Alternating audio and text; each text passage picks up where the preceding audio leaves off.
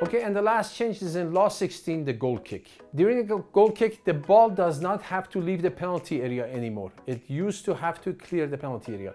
The ball is in play as soon as the ball is kicked and moves. The only caveat being that the opponents must be outside the penalty area when the ball is kicked.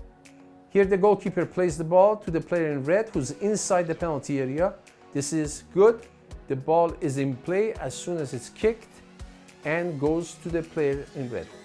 The player in white who was outside the penalty area can attack the ball at any given time because they were outside. If the player would have been inside the penalty area, then they cannot attack the ball and uh, must stay back. This concludes our series on the changes in the laws of the game. I hope this has been uh, helpful. And if there's any doubts or questions, we are more than happy to help you.